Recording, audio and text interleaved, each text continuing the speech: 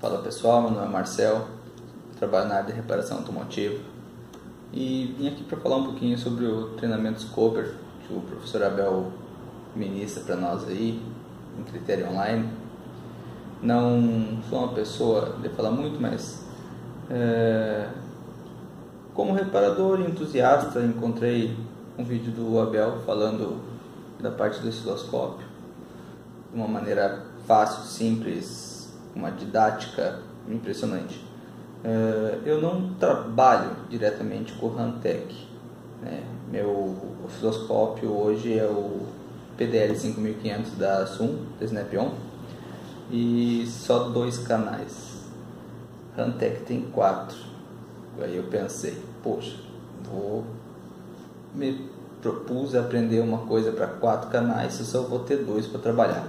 Mas na primeira conversa que eu tive com o Abel, ele já largou assim, ó. Cara, se tu tem dois canais, tu tem comparação. Se tem comparação, tu consegue chegar no defeito. E é bem assim, pessoal. É... Dá um trabalhinho, dá, a gente está começando com osciloscópio, passo a passo, vai indo. É impressionante. A gente consegue pegar defeito facinho, facinho. Nada que duas, três horinhas com o carro. Como o Abel fala, a gente tem o feeling, começa a pegar o feeling para ir no lugar é, PWM, tudo isso que a gente precisa saber vai chegando com o tempo de curso.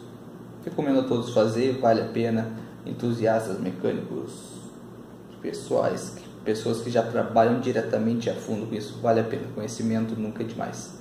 Uh, eu só tenho a agradecer ao professor Abel pela didática dele e agradecer por passar esse conhecimento para nós de uma maneira tão fácil e sem problema algum para qualquer pessoa atender.